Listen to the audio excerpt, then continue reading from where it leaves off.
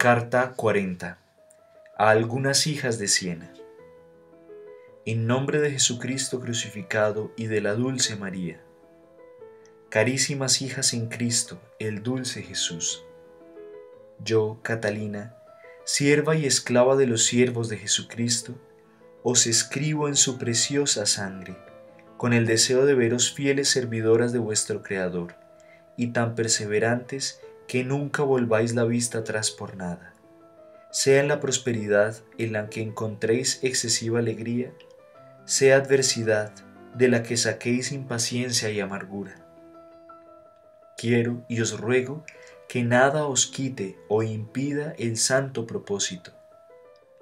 Para que éste aumente y no disminuya en vosotras, quiero que abráis el ojo del entendimiento para conocer el inefable amor que Dios os tiene pues por amor os ha dado a su Hijo unigénito, y éste la vida, con tan ardiente amor que todo corazón endurecido debe ablandar su dureza.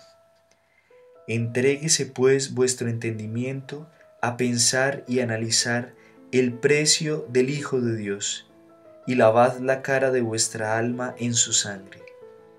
Levantaos y despertad del sueño de la negligencia y ya levantadas, dedicaos con solicitud a conseguir la blancura de la pureza y el fuego de la ardentísima caridad que perfectamente encontraréis en la sangre del Cordero.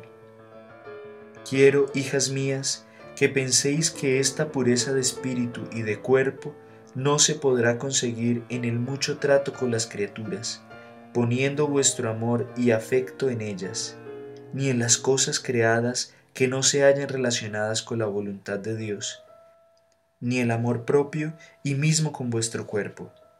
Se adquiere con mucha diligencia en las vigilias, oraciones y con la memoria continuamente puesta en el Creador, reconociendo el amor que Dios nos tiene. Cuando del modo indicado haya el alma adquirido la pureza, al ver que no puede hacer a Dios bien alguno, extenderá su amor al prójimo.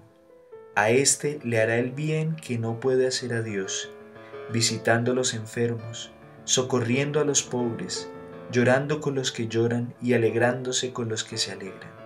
Es decir, llorando con los que tienen lágrimas por el pecado mortal, teniéndoles compasión, ofreciendo por ellos continuas oraciones a Dios, y alegrándose con los que se alegran, que son los verdaderos servidores de Jesucristo crucificado, y os deleitaréis siempre en su trato.